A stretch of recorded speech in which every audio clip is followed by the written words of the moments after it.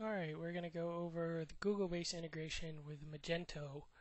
Um, a lot of people seem to be having problems, um, and it just doesn't seem that complicated. I don't know why people are editing files. Um, so you're going to go into Catalog, Attributes, Manage Attributes. You're going to add a new attribute called Condition. Okay, as you can see I've already done it here, but I'll walk you through the steps. Click Add New Attribute, title it Condition. Uh, scope is global in this case.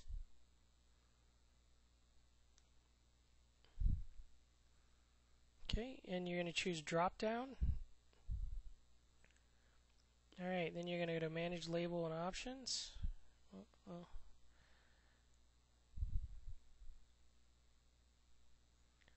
Manage label options here. Um, I call the label conditions with a capital C. I go back and change it. And then add your two options, which in this case is new is your first option.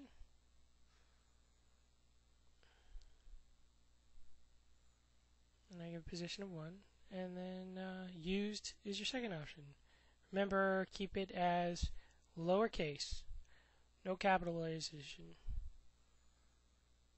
Position 2 for me. Save attribute.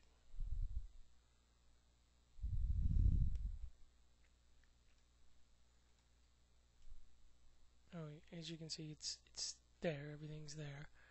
So we're going to go back up to Catalog, Manage uh, Attribute Sets.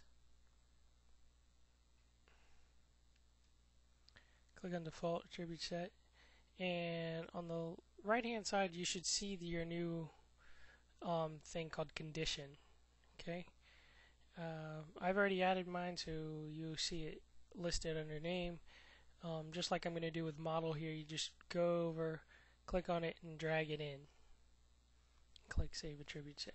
So go over go to your condition and then click save attribute set Okay, and uh,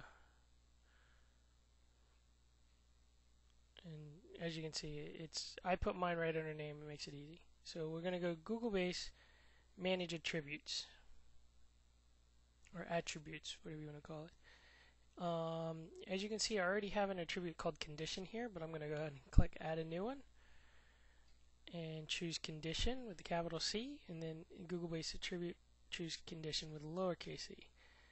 Scroll up, choose Save Mapping. But I've already done this, so I'm actually not going to click that. Google Base, Manage Items.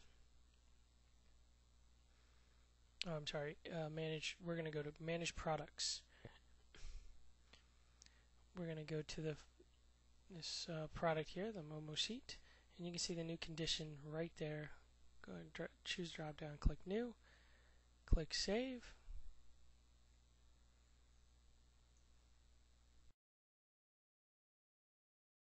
Then we're going to go to Google Base, Manage Items, View Available Products, go down and choose the one we just changed to Product New, which is Momo Safari Excel.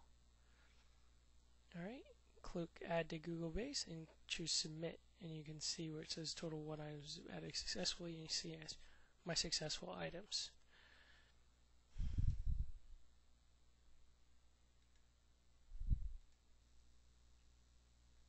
I really hope this uh, has helped you out. And uh, if you have questions, uh, leave comments. I'll try my best. I'm fairly busy, but I'll try my best to get back to you. Thank you. Uh, check out my website, peakracer.com is my store. My blog at danpereda.com. And have a great day.